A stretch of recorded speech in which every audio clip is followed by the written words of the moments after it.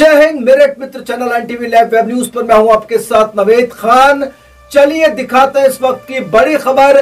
खास खबर आपको दिखाने जा रहे हैं हमारी खास तीन जनवरी 2022 उत्तर प्रदेश के मेरठ के मवाना ज़िले सनसनी खेज खबर जहाँ एक दोस्त की उसके छह दोस्तों ने शराब पार्टी में हत्या कर दी। आपको बता दें लक्ष्य नाम का युवक अपने दोस्तों के साथ शराब पार्टी कर रहा था। शराब पार्टी के दौरान दोस्तों में कुछ विवाद हुआ तो सभी ने मिलकर लक्ष्य की हत्या कर दी। पुलिस ने चार आरोपियों को गिरफ़्तार किया है। शराब पार्टी के चलते लक्ष्य की हत्या उसके दोस्तों ने की है। पुलिस ने चार आरोपियों को गिरफ़्तार किया है। बड़ी खबर उत्तर प्रदेश के मेरठ ज़िले से।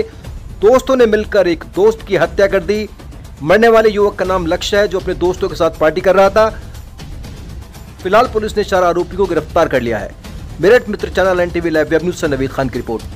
थाना क्षेत्र मवाना में एक लड़का लक्ष्य, जिसकी उम्र लगभग इक्कीस बाईस साल होगी, उसकी बॉडी उसके एक दोस्त राजा के द्वारा उसके घर के सामने रखी गई। इसमें पुलिस को सूचना प्राप्त हुई। तत्काल पुलिस के द्वारा राजा को हिरासत में लेकर गहनता से पूछताछ की गई तो उसके द्वारा बताया गया कि जो मृतक लक्ष्य है, वो अपने अन्य छह दोस्तों के साथ रात्रि में शराब पी रहा था। किसी बात को लेकर दोस्तों के बीच में कहा सुनी हुई, जिसमें अन्य सभी दोस्तों के द्वारा ये घटना कारित की गई लक्ष्य के साथ।